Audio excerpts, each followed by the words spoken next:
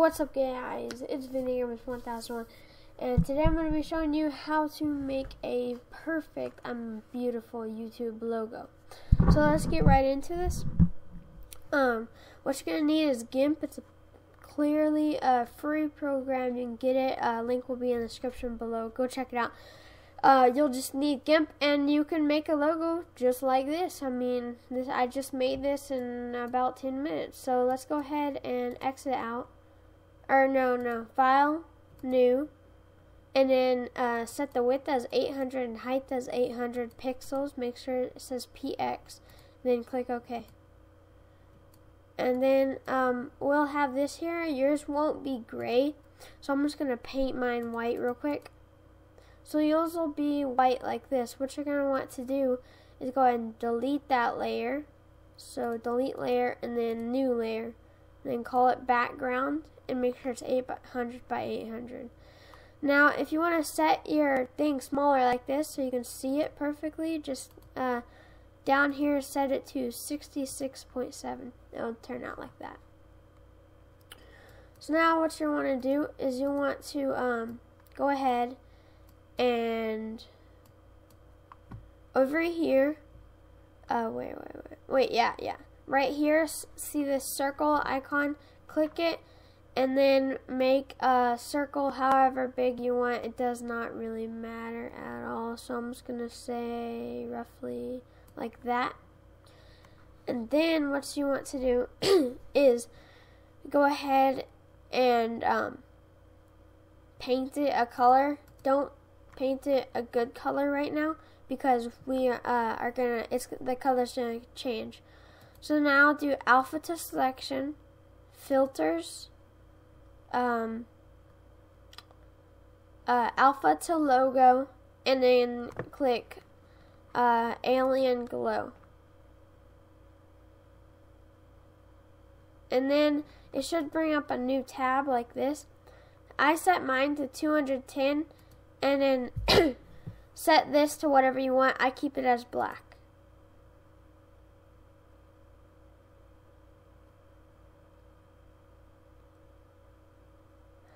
And then it'll turn out like this. You'll have this background. Well, you don't want that, so just go ahead and delete it. So then you'll have these two circles. Keep both of them. Uh, yeah, keep both of them. So now that's finished. Just go ahead and, well, if you want a black background, like as you saw how I kept it that color black whenever I opened up a new tab, I kept it black, so it's going to look like this. But if you don't want it black, if you want your background different, then change the color uh, in alpha to glow, um, stuff like that. Uh, so now what you want to do is you want to add some text. So I'm going to be using um, the Night right here, font Night. I'm going to be using it because it's really good for my uh, V's. So just highlight it and make it bigger. I'm gonna turn mine green right now, but it's gonna change, so don't don't make yours all pretty yet. Um, so V. I don't know why it didn't do the V. Oh, it's because that. Okay. So make sure your text is above the background because I think it's automatically below. So I'm just going to make this a lot bigger. Like about 403. That seems good. And I'm going to go ahead and select it and move it in here.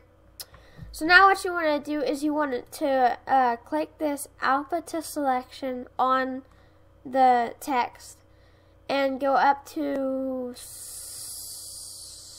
oh yeah, go to here click the uh, blend tool or the gradient tool.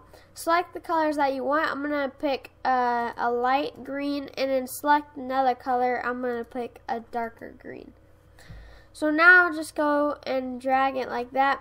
But uh, a good thing to use is radial. So on your tool options, do radial. And just get it how to you want it. And it'll be like a lighter to a, a darker green.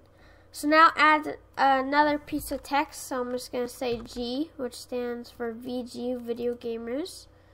And I'm going to go ahead and enlarge that.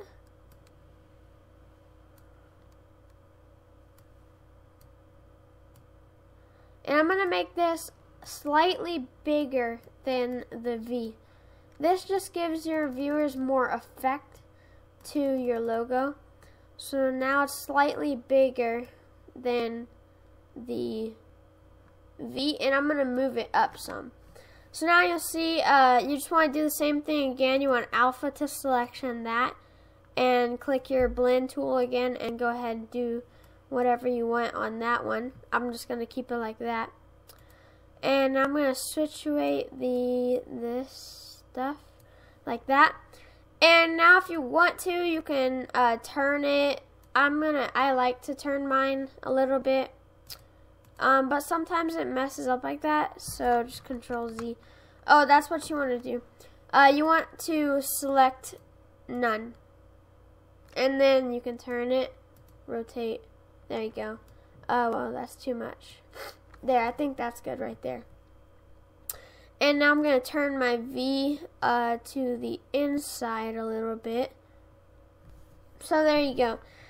Now you can go on Google and get some uh, like controller images. So like, um, say you want uh, some controllers.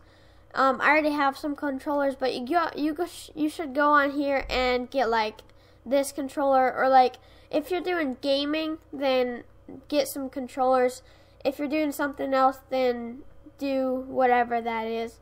Um, but yeah, you can just check all this out. So, um, once you have your stuff that you want, go get it from your desktop. So I have the two things. Pick out at least two things that you want, and I'm gonna move those onto GIMP. So I'll just put it there. And now you're going to, why did it just, rotate. Okay. So then you're going to have it on your GIMP. Now it's going to be a black, uh, black and you probably can't see it. So just go ahead and uh, alpha to select it again and uh, use your gradient tool. So I'm, now I'm, this time I'm going to do a light red. So I'm going to pick that one. And I'm going to do a dark red and that will just uh, color the controller. And uh, also to like this is what I did on my logo. I flipped it around and put it up right there. Um and wait hold on. Uh, I forgot to out un alpha to select it so just go and Z Z Z. Okay. Now uh, select none. Okay, now you can turn it if you want to. So I just turn it around like that, rotate. And then you should just move it under one of these so it's like peeking out a little bit like that. That looks good.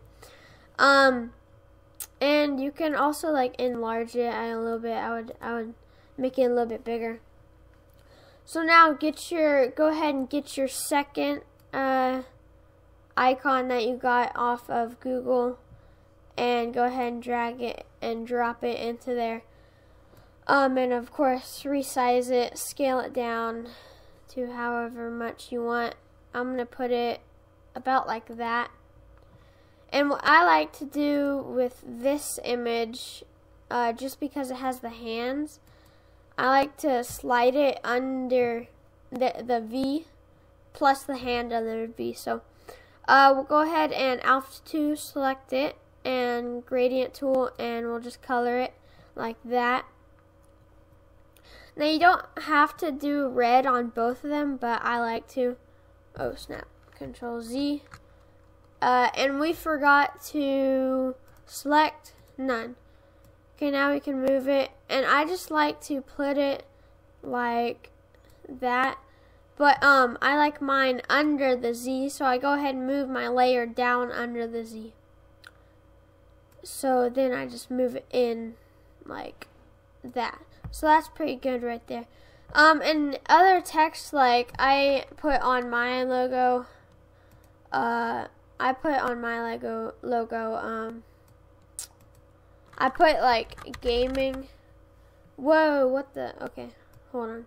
I'll fix that in a little bit. Um, but I put like gaming on mine and I turned the text white and put it up like that and um, I just put that over here. So let's move this G back right there. That's good. Okay, and then um so you can have gaming and you can make it bigger and stuff.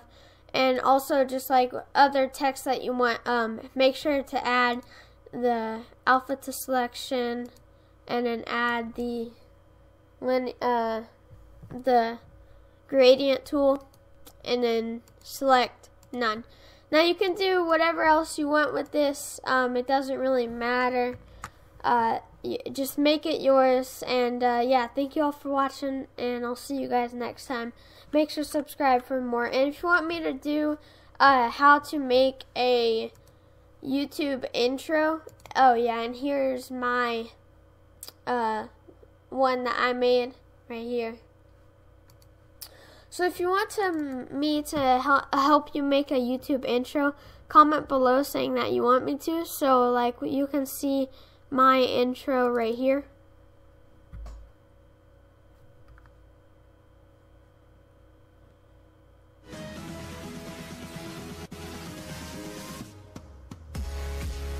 You'll uh, you'll also be able to see at the beginning of this video. Also, I have my outro.